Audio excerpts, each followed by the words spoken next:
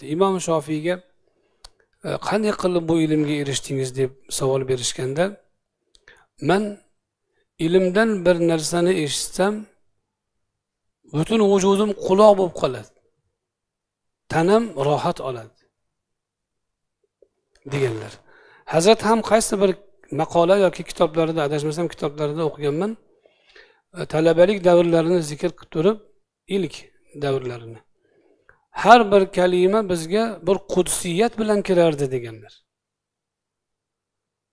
Arab tilidan e, yoki shar'iy kitoblardan bo'lgan har bir kalima shunchaki gap emas bir muqaddas bir ruh bilan kirardi bizga.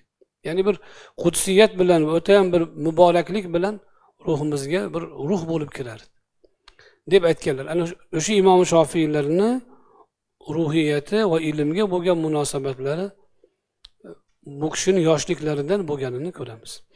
Imom buxo yana imom shofiy aytganlarki ilmni qanday talab qilasiz? deganda yagona farzandi bor onaning farzandini yo'qotganda farzandi qan farzandini qanday qidirsa shunday qidiraman.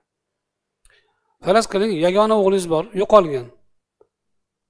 Qanaqa qidirasiz shuni? U topilishi mumkin bo'lgan joygacha kirib chiqasiz topilishi ehtimoli yo'q bo'lsa ham har ehtiyot har ehtimolga qarshi ehtiyotdan kirib chiqasiz biror joyni tark qilmasdan qidirasiz ana shu talabi ilmni shart. Imom shofiylar shunday bo'lgan.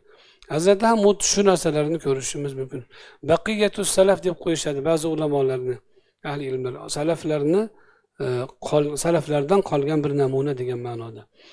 Hazratni ilmga bo'lgan munosabatlarida mana shu narsani ko'rishimiz mumkin.